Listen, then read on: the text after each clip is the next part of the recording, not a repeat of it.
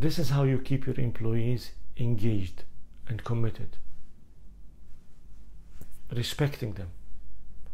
The more you respect them, the closer and the tighter is the relationship. Better communication.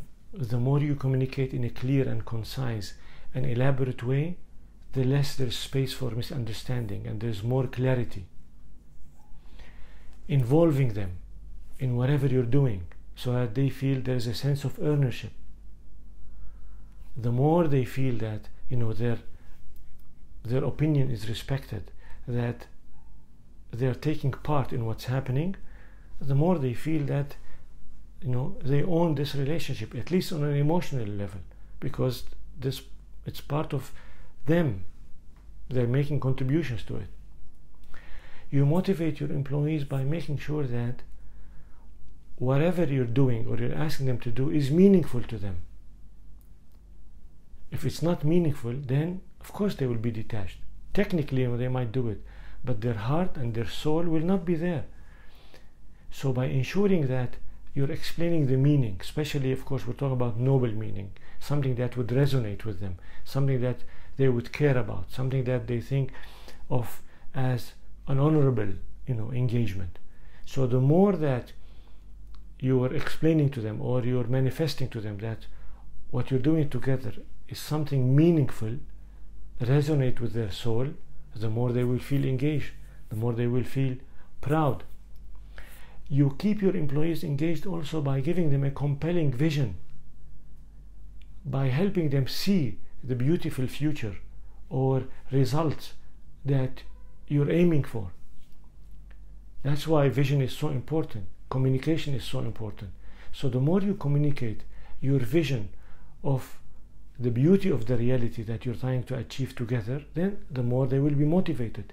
Especially if that vision, if the creating the creation of that vision will also impact their life in a positive way. It's not something just about you.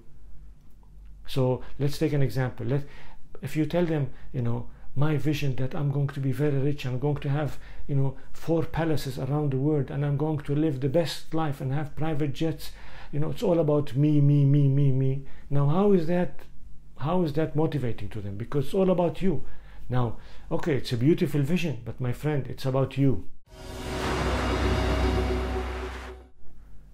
But if your vision, if the way you express your vision to them is that if this company becomes successful, you know, there will be profits, and that profit, that level of profit will reflect itself on better income for everybody, you know, especially them. So through bonuses, through salary increases, through job opportunities, through promotions, through better working environment, through you name it.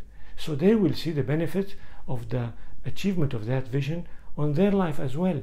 So the point is, the more you make things relevant to them, relevant to your employees, in terms of um, adding value to what matters to them, the more they will feel engaged. That's the real key.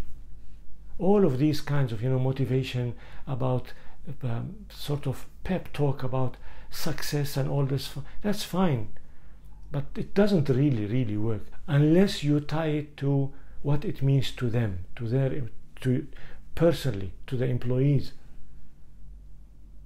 So there's nothing wrong with success. There's nothing wrong with all these flashy titles but you have to tie it to them because why would they care so much if we're talking about real engagement and involvement about something that is external to them that you know won't benefit their life? So also always keep in mind by explaining to them what's in it for them. So how do you keep your employees motivated and engaged?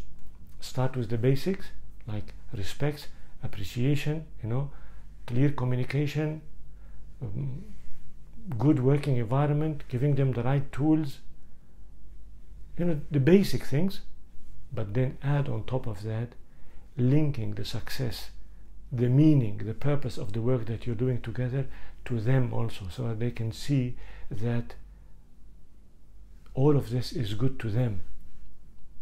And it doesn't matter, you know, at what level. It could be, you know, financially good to them, which is very important, of course, and people who say finances are not important i don't i think they're not in reality because people need money to live and to improve their reality.